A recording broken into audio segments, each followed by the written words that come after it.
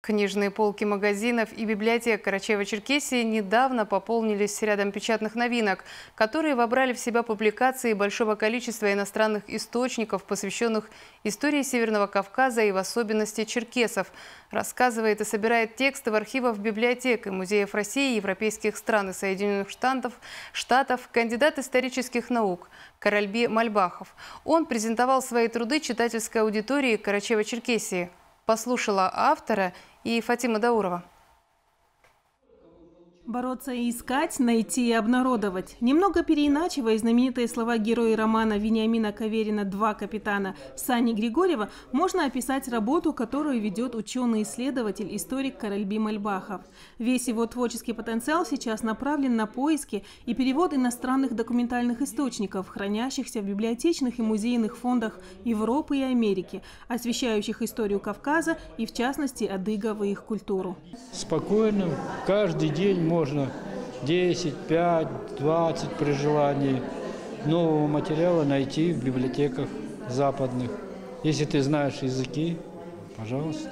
Знание английского и французского языков помогает Мальбахову переводить найденные документы и собирать их в тематические сборники. Среди последних находок и книга писателя в эмиграции Сергея Курнакова «Дикие эскадроны», которая вышла в свет в 1935 году в США.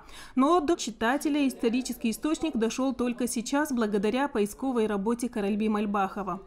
Автор написал о том, как служил в черкесском полку дикой дивизии и как горная кавалерия участвовала в военных действиях.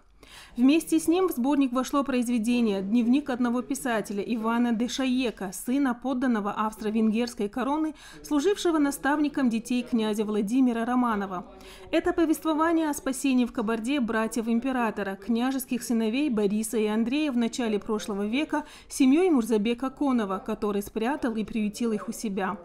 Переводы обоих произведений на русский язык были сделаны впервые. Как говорит историк, именно случайность – причина начала его исследовательских работ. Случайно, будучи в столичной библиотеке, встретил там, ну, допустим, того же Джеймса Белла, двухтомник.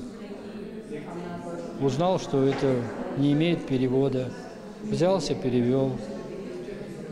В общем, все случайно. Потом это понравилось, и все.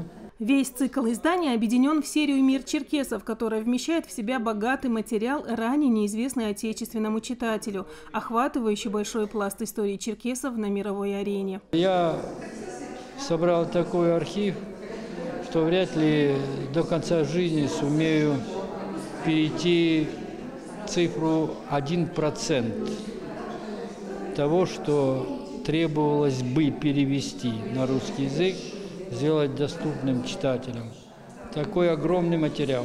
Пришедшие на презентацию книг еще долго не отпускали автора, задавая интересующие вопросы. Многие факты из истории черкесов впервые были услышаны ими, и они пользовались случаем впитать в себя как можно больше информации из уст Каральбия Мальбахова. И каждый из них ушел вместе с книгой с автографом исследователя. Фатима Даурова, Мухаммеда Шибока, Вести, Карачаева, Черкесия.